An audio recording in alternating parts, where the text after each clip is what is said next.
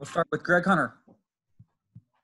So, coach, it sounded like you were giving Deuce a little uh, grief for defense uh, earlier, but your numbers defensively are pretty good. I mean, 15 to five in turnovers, 21 to four in points off turnovers. So, what did you think of your defense for the most part, especially in that second half run? I thought we did a better job handling ball screens, but then we got we got a little lazy and, and didn't do as good a job. I think I think this this way for this team is the best way to handle ball screens. So uh, I, I thought that part of it was better. Um, we didn't do a very good job post defense, and we didn't really rebound the ball, Greg, the way we need to rebound it. Go ahead, John Antonik. Hey, Coach, I was curious, uh, the zone you threw out there in the second half, was that out of frustration or was that uh, just something to change things up? No, we worked on it. You know, we worked on it. We wanted to throw it out there and see what we did against uh, uh, another another team, uh, and and and we wanted to change the tempo a little bit. They were they were coming off of those ball screens uh, pretty hard at us, and that kind of that kind of stopped some of the the ball screening things. But uh, it's a work in progress, John, to say the least. Charles Montgomery. Coach Huggins. So you had talked about it through the first three games. Emmitt, I'm sorry, four games. Emmitt trying to break out of his little bit of a rut that he's been in early on. So tonight he broke out. Um, just what does that do overall for you guys to be able to just move forward and hopefully have that continuously with him? Well, he, he took some bad shots during a during a stretch. They shot him too quick, and and then uh, he really got settled down. I think in the second half, and and he was huge in the second half. He's we you know we've been on him since he got here to be a little more assertive in taking the ball at the rim, and and he obviously uh, took it at the rim a couple times with with a lot of strength and uh, and then made a made a huge three. The the the, uh, the three that he made kind of put the game away for us. Next is Justin Jackson. Coach, uh, I don't know. There's a little bit under seven minutes left. Uh, the game's tied at 60, and Deuce makes that play where he, he creates a loose ball by diving on the floor and forces Blair into the backcourt, and then eventually forces him uh, into a travel. Uh, how big of a of a play is that uh, overall for you guys tonight? Well, I think there were a lot of plays in that stretch, Justin. That certainly was a big play, but there were a lot of plays in that stretch. I think, you know, Derek got went up and got a rebound between two guys. That was a, that was a man's rebound. Um, Emmitt made some plays as well, but I think I think uh, Deuce Deuce's get knocking a ball in the backcourt, I think really it forced them to take a, a, hurried shot, which obviously got us possession of the ball again, and, and kind of that was part of the run that kind of put the game out of reach for him. Skylar Callahan. Hey, coach. Seems like you guys had a lot more success in the second half, pounding the ball underneath. Was it more so of, of just the approach or just being able to have those bigs out on the floor? It was having the bigs out on the floor, having the right bigs out on the floor. You know, we got bigs that uh, that that are jump shooters, and then we've got uh, bigs like Oscar and Derek who are power players, and uh, we had we had power players out there that, during that stretch. Next is Cody Nesper. Um, so, coach, you mentioned the uh, the run in the second half where you kind of took the lead. W- just what do you think changed there? I think it was um, Deuce hit a three pointer that kicked off a, a ten to nothing run. Just what do you think changed after that? Well, Emmitt hit a big three pointer. Uh, Emmitt drove it at the basket and, and, and scored over top of him. Derek kept balls alive for us on the offensive glass and scored in the offensive glass. We they were blocking shots and really changing shots, and we really weren't able to, to score close. And Derek came in with that changed everything in terms of being able to score close. Uh, I thought, you know, I, I, Taz made a huge shot for us in transition. I thought I thought it was a that, that was a good team run right there. We'll go back to Greg. Bob, a little bit more on Derek. I'm sure he was a little frustrated because of the foul trouble in the first half and he hardly got to play. What kind of, you know, inspiration was that when he finally got and stayed on the floor in the second half? He really seems to sort of take charge. Well, they kept bugging the heck out of me, trying to get back in the game, and I kept telling them I need him at the end, particularly in light of the fact that that Gabe got in foul trouble. Um, you know, we need one of those two guys on the floor, and and uh, then we got then we got more foul trouble, so we- really had to put Derek in. I may have put him in even a little sooner than I wanted to, but the whole game changes whenever he's in there because you know he just he separates people. He keeps balls alive uh, on the offensive glass, and obviously he's able to score it in there.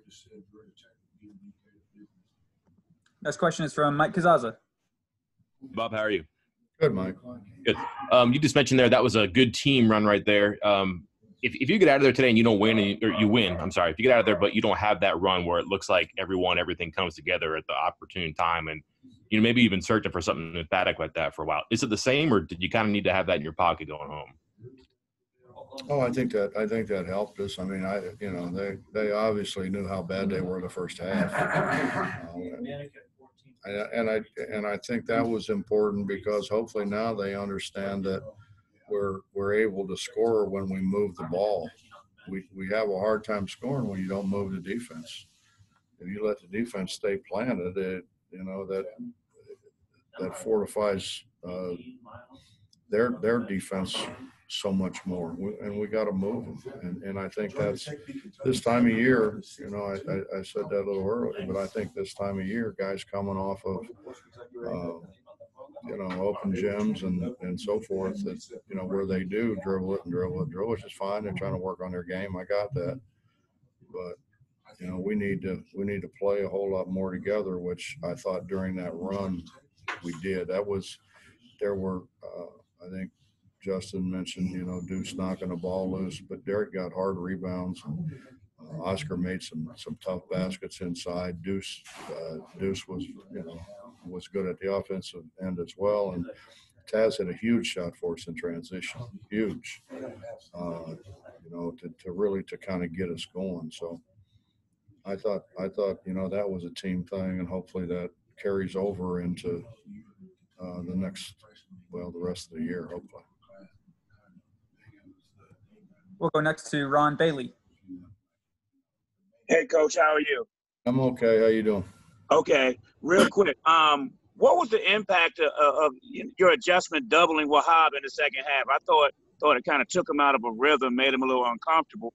And then question number two, is this McBride guy really turning into a big time point guard? He was able to score, yet control the tempo and kind of lead you guys to victories in a number of ways.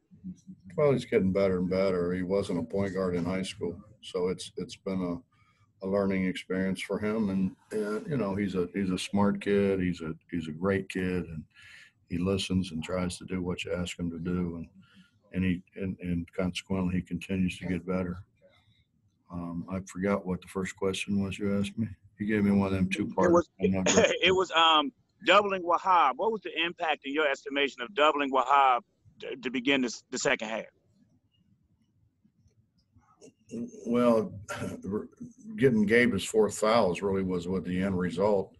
Um, you know, and I didn't, I didn't want to do it because I need, I need Gabe and I need Derek on the floor, one of the two, anyways. And uh, we we doubled it, but we, I mean, it just we we doubled. It was it was more uh, a reaction than than anything else. And you know, the problem is, it seems like they can double Derek and everybody and and our guys and every time we go to double somebody, the whistle gets to blowing.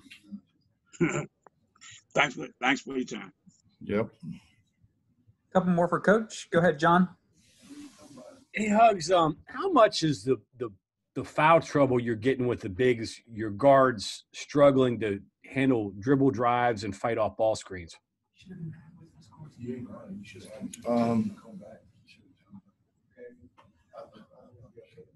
I, you know, I think, I think we're working, we're working through it. I mean, in, in some ways, it's not a bad thing because we get to put other guys on the floor and get them some experience.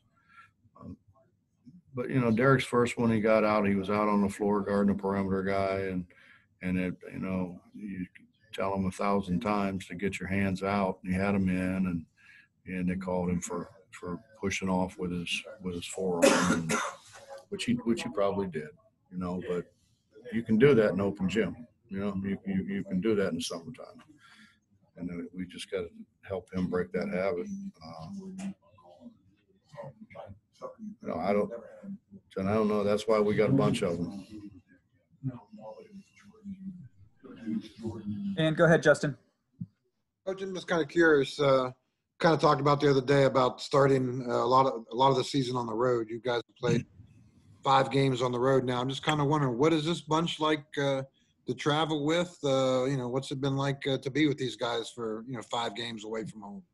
Well, they're great guys. I mean, they're they're they're not low maintenance. They're no maintenance. You know, they do what you ask them to do, and um, you know they're they're they're really good people. Um, you know, the, the the road thing. You know, if we would go back a few years when we were in the Big East, any road win in the Big East was a great win. Uh, and and so to come into a Big East school and and win on the road. The last time we came in here, we got beat by it seemed like a hundred. Um, so I mean, it's it's a good feeling being being able to get a Big East win and be able to get out of here. And Ron, you can have our last question. Okay, thank you, Coach. You um you've shown that a that that a seasoned veteran can can change what he does in midstream in the sense that you guys aren't pressing and trapping all over the place. How has that adjustment been this year for you? I mean, you you you have to adjust your personnel, and our personnel when we had when we had uh, JC and we had Dax. I mean, we had two terrific on the ball guys, and then we had Nate Adrian and and Jon Holton over the ball. Two long guys and guys that that could really run. So when the ball you know went over their head, they could they could chase it down and be in the play. We don't have that now you know, but we're bigger, we're stronger, we're more physical. Uh, our guards are bigger. Um, so, you know, you adjust to your personnel and that's, that's what we're trying to do. And I'm, you know, I'm blessed to have a, a coaching staff that helps me with that a great deal. Thanks, Coach. Mm-hmm. All right, Coach. Thanks for the time. Really appreciate it. My pleasure. That'll conclude the interviews this evening. Thank you, everyone.